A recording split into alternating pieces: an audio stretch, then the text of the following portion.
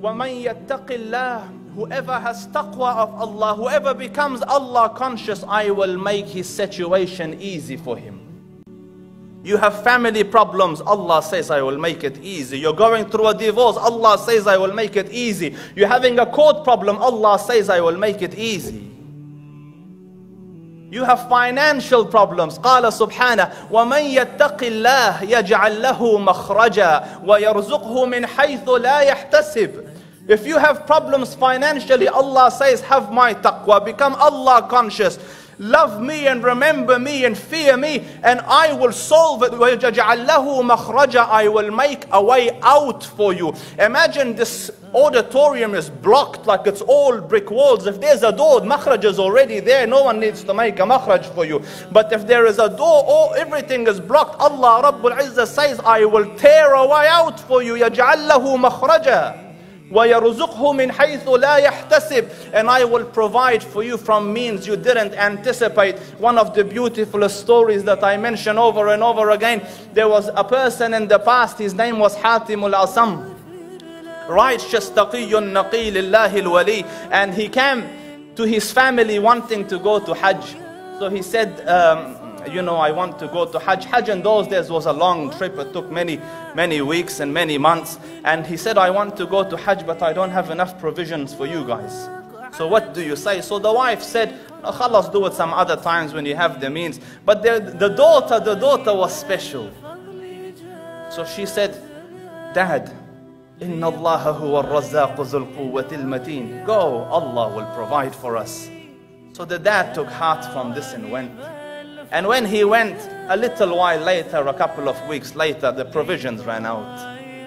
So the mom and the rest of the siblings, like you big mouth, huh?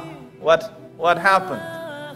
So the little girl went to the back room and she raises her hands and she says, Allahumma anta qulta wa qawluka al-haq.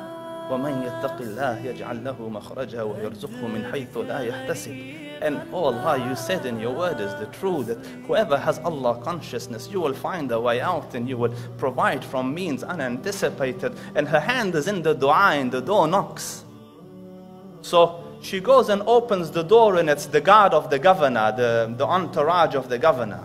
He's, you know, His Excellency is crossing through here. He's thirsty. Do you have any water? So she went and got water and made it nice, presentable, you know, they, they took a, and the man took the water, took it to the governor, and the governor drank the water, and he found in it delight. Oh Allah Rabbul Izzah put delight in it for him, so he drank, and it made him think, where did this water come from? Who did you get this from? So they said, from the house of Had. So the famous Had, yes, we must go say salam. They said, No, Your Excellency, he's in Hajj. So he said, Then it is our duty to look after his family. So he reached into his, in the olden days, they had those little sacks of, of the coins, you know, with the. So he reached into this and he chucked it into the house of Hatim, the gold coins. But Allah Rabbul Izzah wished to increase. So the man looked at his entourage and said, Whoever loves me, do as I have done. So all the entourage took their purses and chucked it into the house of Hatim. Pretty soon gold coins were loitering around on the floor and the little girl started to cry. So the mom said, Woe be unto you. We were poor and dying. You were happy. Now money has come. You're crying. So she said, Allah, for an instant, a, human looked at us with with mercy and look at what had happened. Imagine if the Dhul Arsh al-Majid and Fa'alul lima yurid were to look at us with an eye of mercy.